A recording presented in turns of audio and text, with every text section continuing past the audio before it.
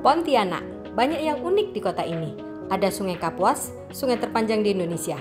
Ada Kesultanan Kadriah, ada Tugu Katulistiwa, dan ada katedral terbesar di Asia Tenggara.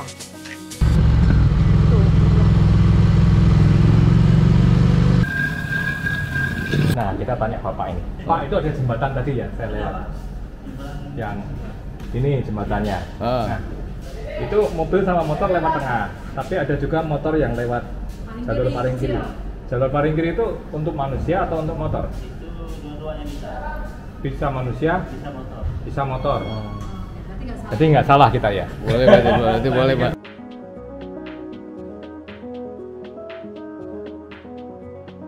Ini namanya meriam setimbul. Hah? Dulu di zaman Sultan pertama, Hah? ini timbul nerapung di Kapuas.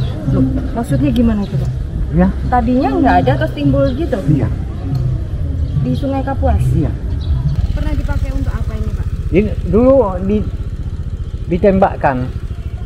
Jadi ya dari arah ke sana atau ke sini itu kalau mana pelurunya jatuh itu di situ tempat kediaman dibikin kerajaan. Oh, Nah, jatuhlah di sini nembaknya dari mana waktu dari arah masjid. Tembakan jatuhnya di sini. Iya. Jadi di sini Iya. menjadi didirikan kesultanannya di Iya. sini. Itu cerita awalnya ya, Pak. ya? Iya.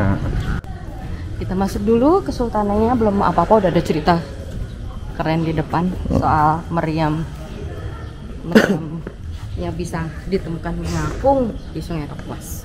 Tapi kalau sekarang katanya tenggelam kalau ditaruh di sungai. Eh, Oke, mari kita masuk.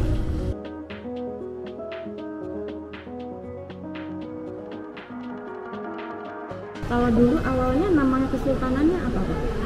Apa udah Kadrian atau udah Memang. memang nama Eh, dari awal itu? karena ya? pendirinya Al Qadri.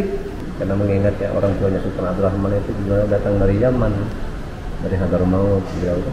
Pak dilanjutkan oleh putranya Sultan Hamid. Sampai itu lambang negara Pancasila. Sultan Hamid. Itu waktu sama Pak Karno gitu.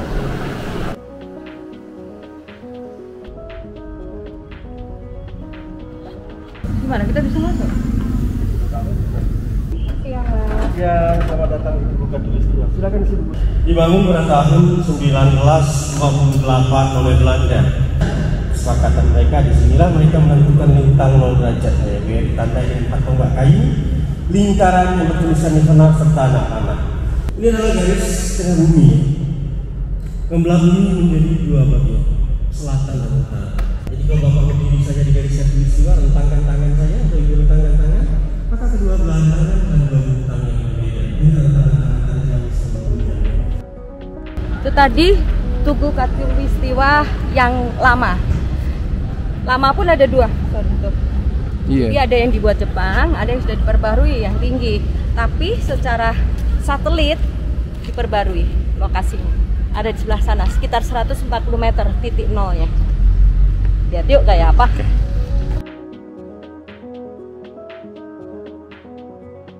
Mana nih titik nolnya ya? Di pinggir sungai apa di ini? Apa ini? Dekat sungai 140 meter. Apa globe? Bukan. Ada setelah blok. Dari Iya, sana iya. yang ini. Di sana di mana? Di, di bola, putaran bo- bola itu?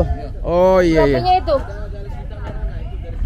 Oh di situ. Oh. Oh, oke. Makasih. Makasih ya Pak. Apa ke sana kali ya Bu? Ada arah matangin nggak?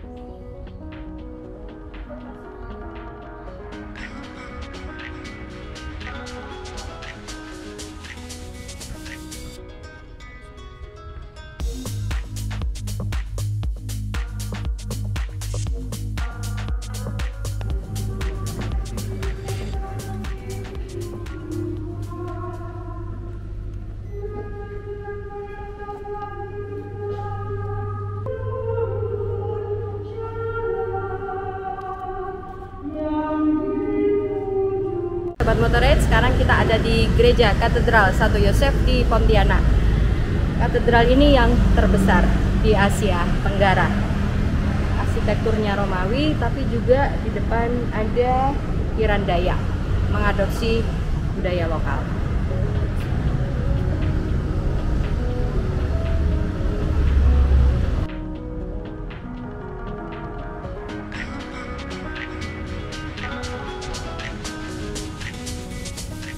Durian apa nih bang? Balai, Balai apa? balai karangan.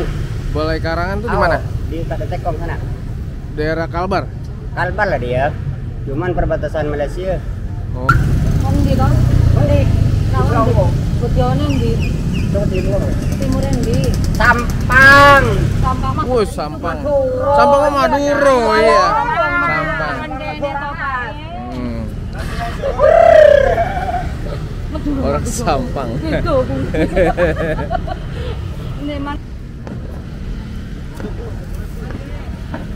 Mas, mas? Woi. Eh.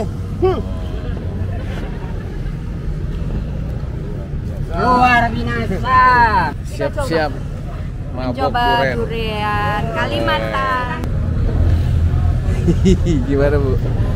Rasanya kayak durian. Mantap Bu? Manis? Manis bu? Iya.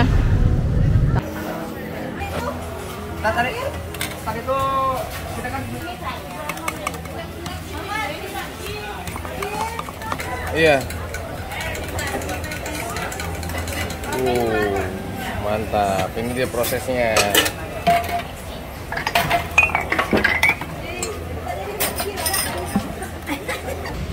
Lagi di Aming Coffee sejak tahun 1970. Kopi legendaris di Pontianak.